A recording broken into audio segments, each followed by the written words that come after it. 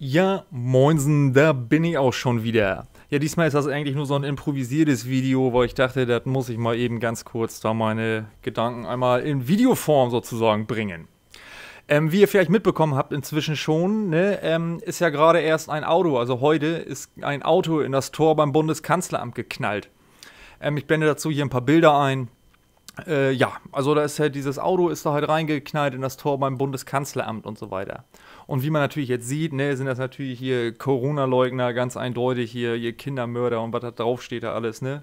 Und natürlich muss da auch noch Stopp der Globalisierungspolitik draufstehen auf der anderen Seite. Also wenn dann alles rein.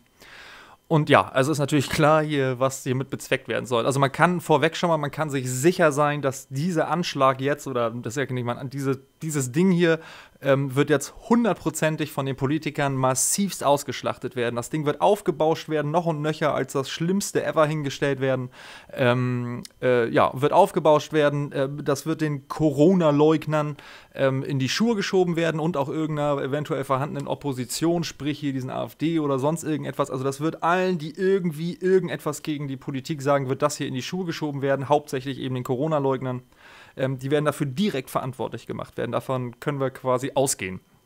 Äh, das Ganze wird natürlich dann die Türen für weitere und eben auch verschärfte Maßnahmen äh, öffnen, zum Beispiel jetzt wie was Demonstrationen und oder Versammlungen eben betrifft von den Corona-Leugnern ähm, und sonst irgendetwas und vielleicht auch mal hier und da eine Hausdurchsuchung bei den Corona-Leugnern. Also Strategie der Spannung lässt hier grüßen.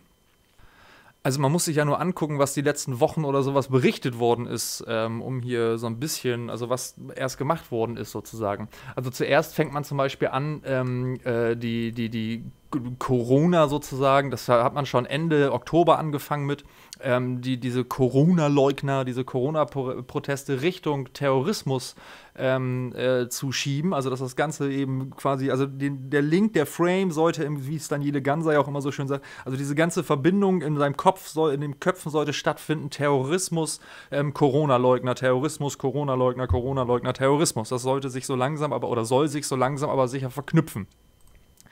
Ähm, ja, also wie gesagt, man wurde, das wurde halt so langsam, aber sicher eben alles in diese Richtung ähm, ähm, gedrängt und das auch alles, wie gesagt, ist.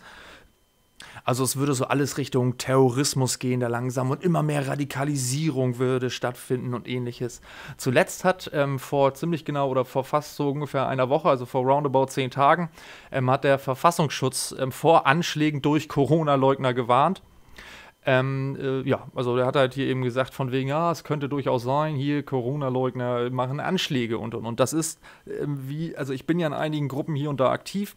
Ähm, und das ist bei allen ähm, ziemlich auf Lächerlichkeit gestoßen, muss man ja mal sagen.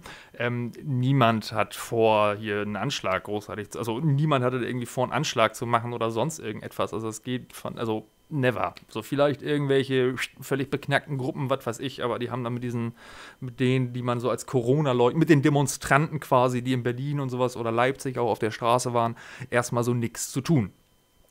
Äh, ja, nun knallte kaum eine Woche später, nachdem dieser Typ das hier dann gesagt hat, äh, von wegen, also äh, es geht round, es läuft jetzt ungefähr einen Monat Quatsch, äh, äh, knapp, dass man diese Terrorismus-Corona-Leugner-Verbindung knüpft. Ähm, natürlich fing es schon vorher an, so langsam, aber das Wort Terrorismus taucht so roundabout ungefähr seit einem Monat in dem Zusammenhang auf. Ähm, und jetzt ist das kaum eine Woche später nach dieser Warnung ähm, von dem Verfassungsschutz, knallt nun dieses Auto in das Tor beim Bundeskanzleramt und das hat auch noch die wohl lächerlichsten Beschriftungen ever an der Seite, damit es auch quasi der dümmste rafft, dass das hier Corona-Leugner waren. Ähm, also und also alles in diese Richtung der Demonstranten da gehört und so. Also es ist einfach absurd und lächerlich, meiner Meinung nach, muss ich ja mal sagen, was hier passiert. Ähm, also jeder, der nicht ganz blöd ist, den sollten hier, ähnlich wie bei diesem Sturm auf dem Reichstag, schon mal die Alarmglocken läuten. Also wie gesagt, das wird ausgeschlachtet werden, ausgenutzt werden und garantiert ähm, für härtere Maßnahmen ähm, missbraucht werden von der Politik. Ja, wie gesagt, Strategie der Spannung lässt offensichtlich grüßen man kann noch, oder wir sind ja mal gespannt quasi dann darauf, was da noch alles so rauskommt ähm, oder sich in den nächsten Tagen oder auch heute noch so alles ergibt. Wer ist gefahren oder sonst irgendetwas, also wer ist dagegen gefahren und, und dann ist ja nicht mal doll dagegen gefahren. Guck mal, wie das Auto vorne aussieht, da ist ja nicht mal richtig was kaputt. Also es ist echt völlig absurd. Es, ist, es soll einfach nur Bilder erzeugen. Das hier soll Bilder erzeugen, die dann wiederum eben ausgestattet werden. Ja, wie auch immer. äh, ihr wisst Bescheid, dies das hoch runter. Dieses hilflose Gestammel jetzt auch jüngst in diesen Tagen durch die Präsidenten verschiedener Landesämter für Verfassungsschutz, dass man die Querdenker besonders beobachten muss wegen der rechtsextremistischen Einflussnahme. Es drückt nochmal die Hilflosigkeit aus der Politik, weil die Verantwortlichen gerade in Berlin längst begriffen haben, dass sie dieses Land mit ihrem verkorksten Krisenmanagement in Sachen Corona in Sackgassen geführt haben. Wir wissen, dass an verschiedenen Stellen der Bundesrepublik durch Polizeien mit Hilfe von geheimdienstlichen Methoden Eingriffe stattgefunden haben, die sind so gravierend und erschreckend. Das ist nicht nur dieser Vorgang in Hamburg mit vier jungen Schutzpolizistinnen, die als verdeckte Ermittlerinnen motiviert wurden, übermotiviert wurden, im linken Bereich mit Legenden sich in das Vertrauen einzuschleichen. Davon drei mit lesbischen Liebschaften, die also extra durch die Betten geturnt sind, damit sie besser Informationen ziehen können.